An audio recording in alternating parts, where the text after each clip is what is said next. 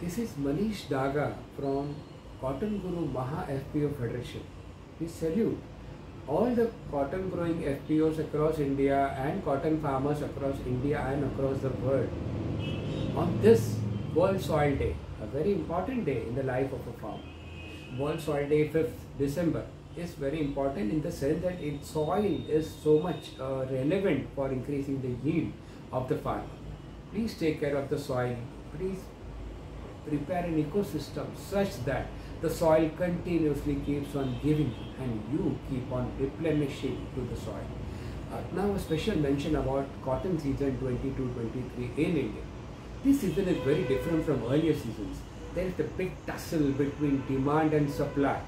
On one side, farmers are holding on to their kapas in dire hope of prices increasing to rupees 10,000, INR 10,000 per quintal, which they had got last year and which they are expecting this year.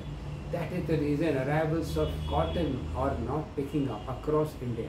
We are seeing a five-year low arrival as far as the period of these two months are concerned.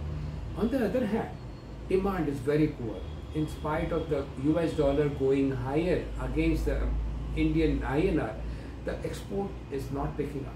Export of cotton, yarn, fabrics, garments, all these exports are quite dull compared to previous years and that is the reason that spinning mills are bleeding. Most of the spinning mills are not working full capacity and we need to be aware of this fact that loss-making spinning mills will not be able to pull the market to that level which you expect dear farmers. So it is an earnest request to farmers. Please hold, do not hold on to kapas such that you will miss the better period which is going on right now. The prices of kapas, the seed cotton right now is in the, range, is in the range of 8,500 to 9,000 rupees per quintal. These are good prices. You need to make a budget of your expenses your per acre expense will be in the range of rupees 11,000 to rupees 25,000. Make a note of your individual budget. Do not follow others. Make a note of your individual budget, including the harvesting cost, and sell the kapas to that amount. The sale would amount to about 50 to 60 percent of your total holdings right now. And these prices are good currently. This will fetch you remuneration of your expenses. Whatever is left will be the profit. Now, from here on, the seed cotton market goes up, you will gain more.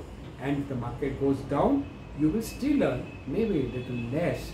Secondly, regarding quality, the kapas harvested in your house should be maintained properly as far as grade is concerned, as far as moisture is concerned, as far as contamination is concerned. Please take care that these all are minimum so that you get maximum prices of your seed cotton. Wishing all the cotton farmers and FPOs in India and across the world best from Cotton Guru family.